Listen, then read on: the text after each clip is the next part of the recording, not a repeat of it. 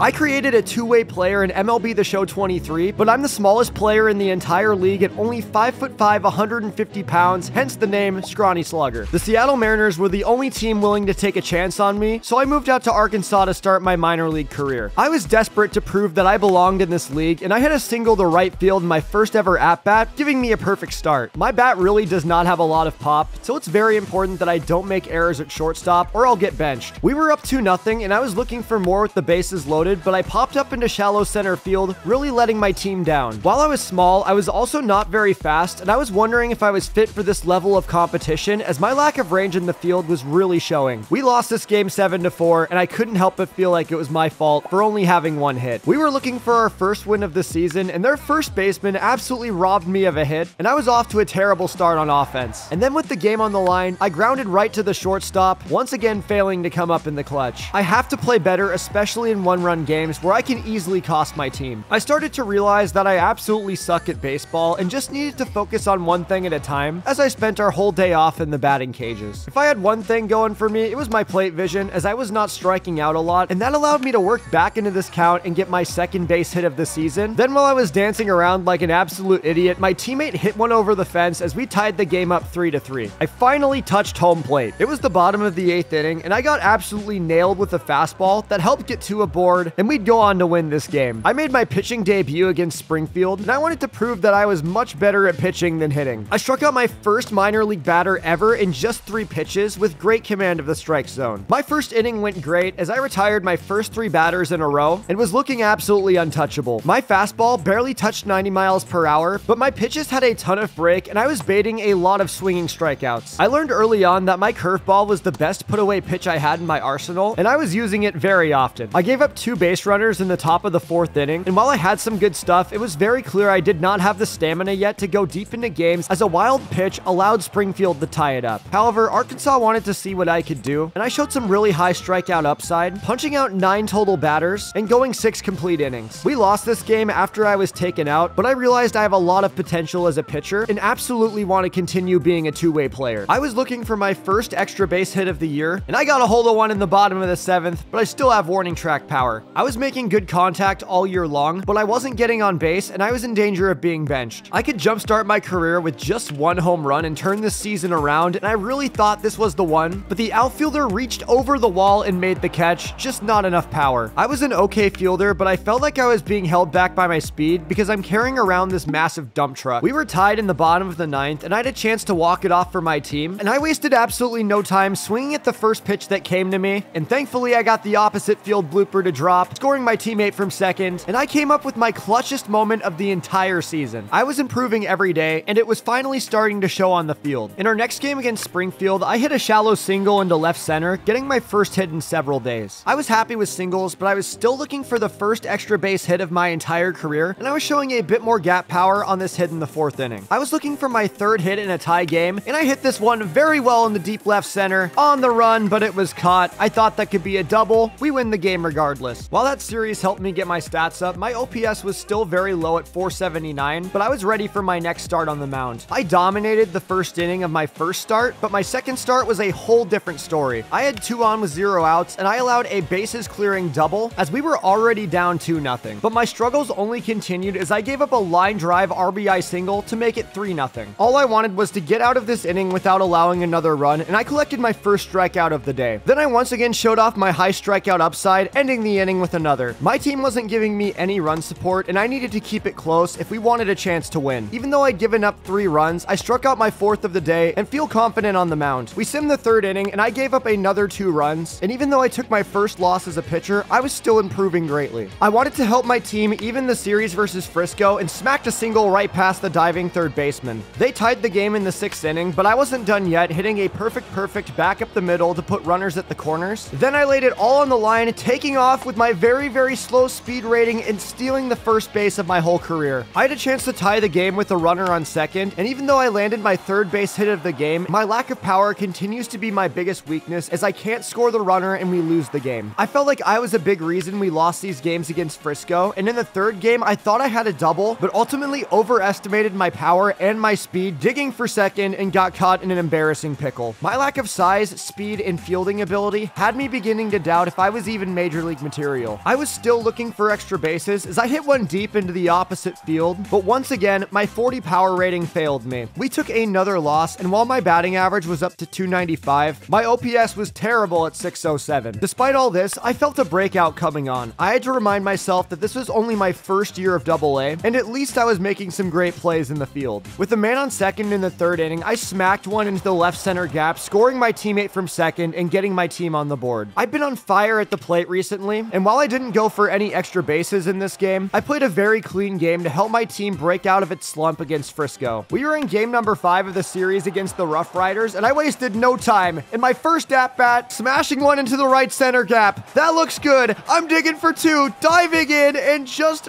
barely safe. My first ever double is an RBI, and I'm on top of the world. I had been absolutely mashing lately and wanted that to continue as I loaded the bases with a single. Then my teammate Cade Marlowe hit one past the shortstop as he scored two runs, and we won this game 7 to 5. I got my first ever double in a game where my team's bats really came alive. We were looking to even the series in our sixth game against Frisco, but I was back on the mound and was already struggling. With the bases loaded, I found a clutch strikeout to get my second out of the inning, and with the chance to survive without giving up a single run, I threw strikes on all three of my next pitches to find my groove at the right time. After that first inning, I absolutely cruised through this game, striking out six batters and only allowing one earned run to win the first quality start of my career. We were 7 and 8 15 games into the season, and my ERA was down to 4.5 while my OPS climbed to over 660. We were in our next series, and I was continuing to show a little bit more power in my bat, but the hits still weren't falling. We lost the first game of the series, but I was motivated to help my team win the next one as I hit an RBI single over the shortstop's head in my first at bat and hit a perfect, perfect single in my second. I had a very good game, but didn't get enough help from my team as we lost our second in a row. I didn't want to be the reason we lost our third straight, so I continued swinging a hot bat. I was consistently making really good contact with the ball, which was helping my power ratings, but I was still flying out on the warning track, and this series was not going our way. I was on the mound for game number four, starting out strong with a strikeout, and ended the inning with yet another as I struck out two of my first three batters. However, my good luck completely turned around in the second inning as I gave up a deep home run and was relieved after four. My team won this one without me. That was a very embarrassing game that I wanted to put behind me for game number five, and I had the opportunity to come in clutch with the bases loaded, hitting one high and deep,